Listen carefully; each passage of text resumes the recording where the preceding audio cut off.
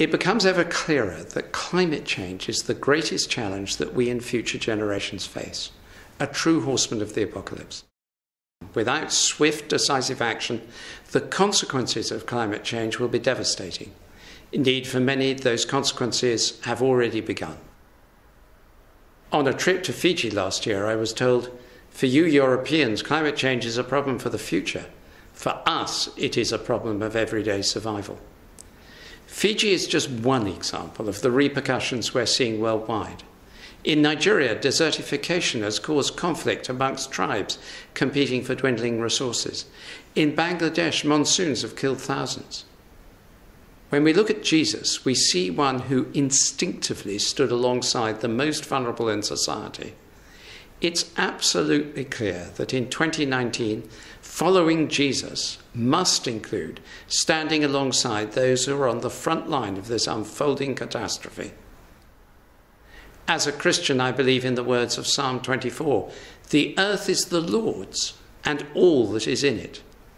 We are the stewards of God's creation. It's our sacred duty to protect the natural world we've so generously been given, as well as our neighbours around the world who will be first and worst affected.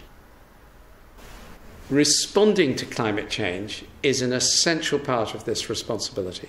I'm constantly inspired and encouraged to hear of the passionate, creative, and committed ways individuals and churches are living out their faith and responding to this call to action, working to address the causes of climate change and to reduce its effect.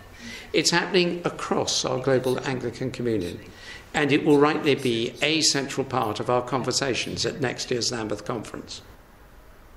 Although important action is already being taken at local, national, and international levels, there is much more to be done, and it needs to be done far more urgently.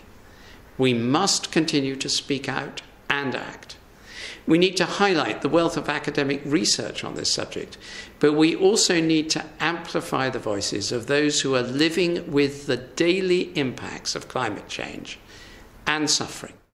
I think the partnership between religious institutions and science can make a profound difference. The combination and collaboration of expertise, global reach, and diverse experience is a real and powerful route to substantial change.